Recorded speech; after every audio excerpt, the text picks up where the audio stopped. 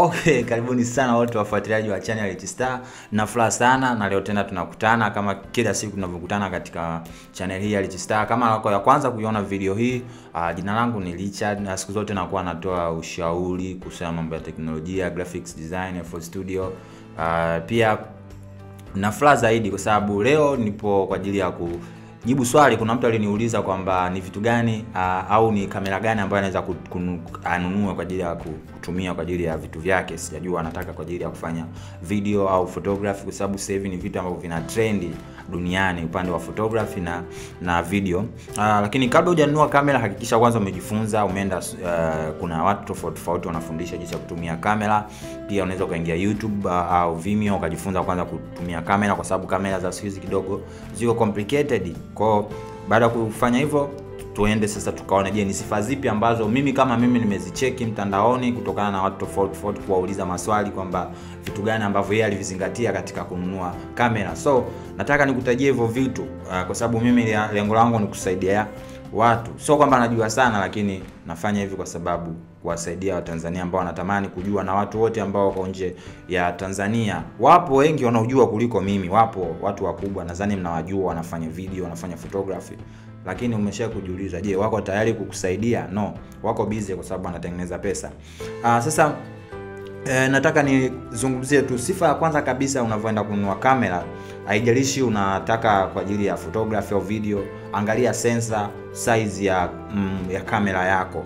Uh, kamera ambazo ni full frame camera e, ziko kidogo expensive. Kwa mfano unavyosema uh, maf, uh, Canon uh, 5D Mark uh, 2 uh, 5 uh, 2 3 na 4 uh, ni kamera ambazo ni full frame camera. Ukiachana na hiyo, kuna kamera inaitwa um, Canon 6D nayo ni kamera ambayo ni full frame, na nadhani pia na Canon first version kabisa ambayo ni Mark 2 ya, ya Mark, Mark, Mark kama Mark sio sio tu ni wani nayo ni full frame camera. Ni kadogo lakini kanatoa picha ambazo ni fantastic amazing. Uh, ni picha ambazo ziko very sharp, uh, zina details zote. Unavyopiga picha na kamera ambayo ni full frame camera, inatoa details zote, chunusi nini, sharpness ile picha inakuwa amazing. Kama hizo picha zinazopita hapo ni picha ambazo zimepigwa na uh, Mark 3.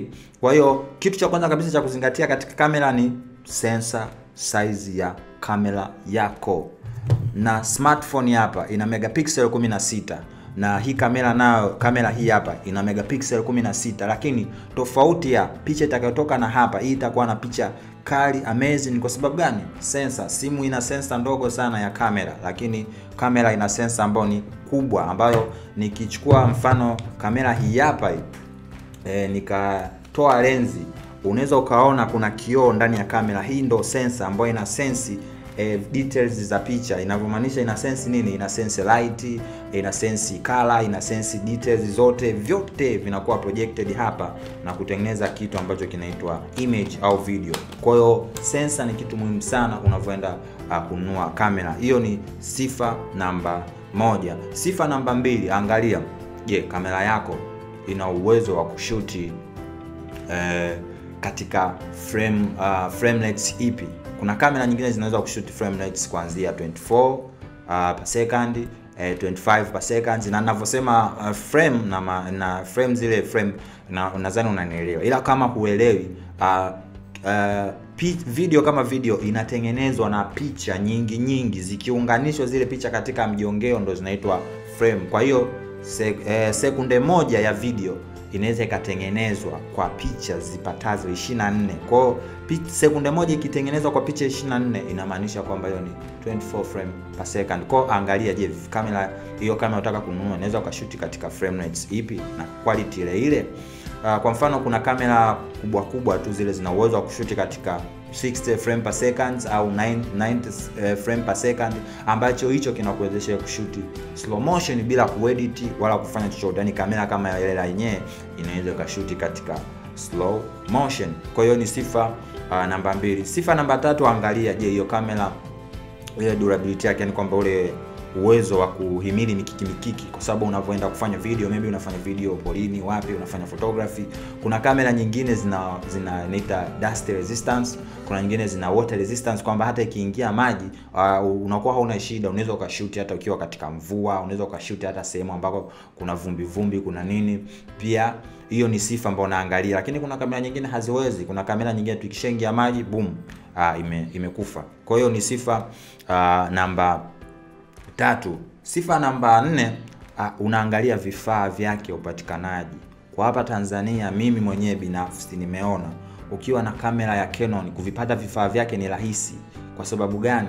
Kwa sababu ndo, ndo market ambao kidogo ndo wa, wanaotoa kamera hizi kidogo wamejitoa uh, kwamba kutoa na vifaa vyake. Kwa hiyo mfano ukienda dukani, ukienda wapi kupata lenzi ya Canon, kupata betri ya Canon, kupata siji kifaa fulani cha Canon ni rahisi zaidi kuliko kupata uh, lenzi ya uh, Nikon, kupata uh, betri ya Nikon. Umeona ni ni ngumu. Kwa hiyo pia unaangalia upatikanaji wa zile accessories ambazo zinaweza kusupport hiyo hiyo uh, kamera yako. Kwa hiyo hiyo ndo sifa eh, eh, namba nne. Uh, sifa namba tano ni battery life. Unaangalia je, hiyo kamera yako battery life yake ikoje, ule uwezo wa kushuti kwa kutumia betri moja ambayo iko full charged. Kwa mfano na kamera hii hapa, hii kamera ni Canon em, em, 550D. Hii kamera nimeitumia sana, na hii kamera uh, katika kuitumia kwangu ina uwezo wa kushuti ndani ya dakika 45 tu. Baada ya hapo, hata kama beti iko full, baada hapo lazima uizime ipoe, kwa sababu betri inakuwa imehit sana. Lakini cha ajabu uh, Canon uh, Mark 3 nilivyoitest siku ya kwanza niliweza kushoot kwa muda wa dakika 90. Umeona, beti ikakata, haikuniambia kamera nataka ipoe, beti ikakata dakika 90. Kwa hiyo ni uh, advantage ya kutumia hiyo kama. Vitu vingine vidogo vidogo tu vya kuzingatia ni kwamba hakikisha kamera ambayo unataka kuinunua ushafanyia research na kuisoma inavyofanya kazi. Umeona, kwa hiyo hizo tu ndo ni sifa, kwamba sifa ya kwanza angalia sensor size. Uh, kitu kingine cha kukuongezea ni resolution. Hakikisha video yako nani, kamera unaenda kununua uh, resolution unajua resolution yake mix, maximum ni ngapi? Kwa mfano kuna kamera zinaweza kushoot 4K, kwa mfano Canon uh, 5D Mark 4 inaweza kushoot 4K. Umeona, bahati mbaya Mark 3 haishoot 4K, lakini ina shoot uh, resolution ya 1920 kwa 1080 uh, ambayo ni kwa sasa hivi ndo iko ina trendi kwa upande wa Tanzania, lakini kwa kuna kamera nyingine ambazo ndogo ndogo zina shoot katika resolution ya 720 uh, ambayo eh, so nzuri sana kwa upande nani, naona inapotea sasa hivi. kwao unabidi uzingatie vitu hivyo: sensor size, resolution, uh, battery life, uh, durability na upatikanaji wa zile accessories au gears ambazo zinaweza uh, kusupport uh, hiyo kamera yako. Kwa hiyo uamuzi ni wako, utaenda upande wapi? Canon au Nikon, It's up to you. Umeona? Kwa hiyo kumbuka kusubscribe katika channel hii. Kama una swali, maoni, mapendekezo au una kitu ambacho ungependa tukizungumzie, usisahau kusubscribe na tukutane next time.